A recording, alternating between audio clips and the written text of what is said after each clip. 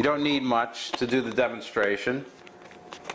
To use the laser, you literally laser the water or the food for 10 seconds.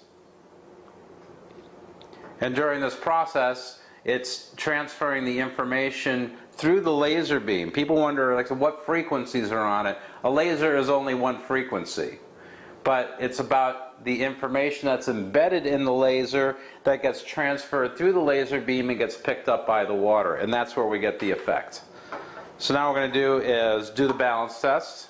Again, have the person stand with their foot off of the ground and go over to the side which the foot is li lifted off of the ground and gently press down. Okay? Now I have the person drink the water. They just need to take a sip and then retest. And now we're in a very strong center of balance. Okay, now we're going to be talking a little bit more about the Vitalazer and the practical application and how we would use it with food.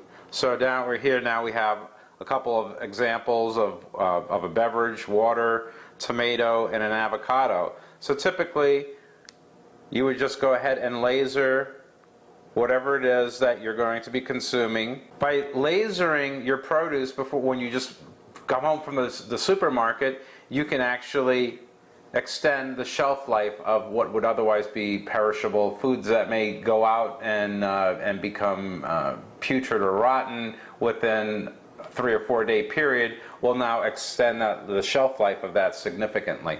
So 10 seconds is all you need to do to be able to do this. Uh, the benefits that you're going to be receiving is, is, that you're restoring vitality into the food. The food will actually taste better. You can do a great test with wine where you take one glass of wine that you don't laser and uh, test another glass where you actually laser it, have people smell it, and then taste the difference. There's a significant difference in that.